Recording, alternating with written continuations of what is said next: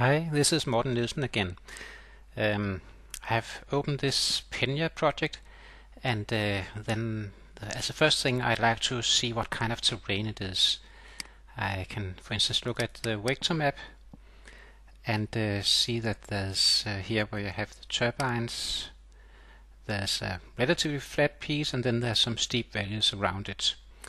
Uh, but I like to uh, check the slope so I enter this uh, slope angle grid um, and then say open this in in a in a spatial view and um, then uh, I can see on the scale that it is uh, pretty steep uh, here. I could also go in here on this scale and then adjust the color scale here and uh, if I was asked to say is it steeper than 20 degrees as it says in the exercise text then I can check this and then see yes it is uh, it, it is steeper here.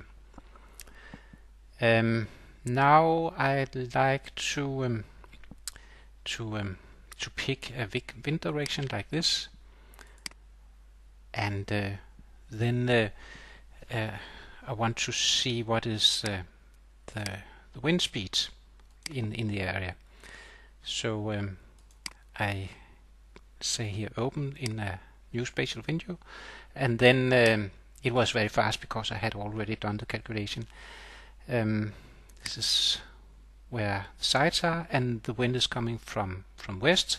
So there's some speed up here and then uh, very little wind here down in the valley. It's almost uh, stopping. And then uh, speed up again where the turbines are. Um, I wonder if if we zoom uh, really close here. Then uh, and maybe a little closer. Then have you noticed this little icon here? Then if you click this then you can uh, see the, the, the flow fields. Uh, there's also this icon here and if I click it then I can synchronize um, with with uh, Google Earth.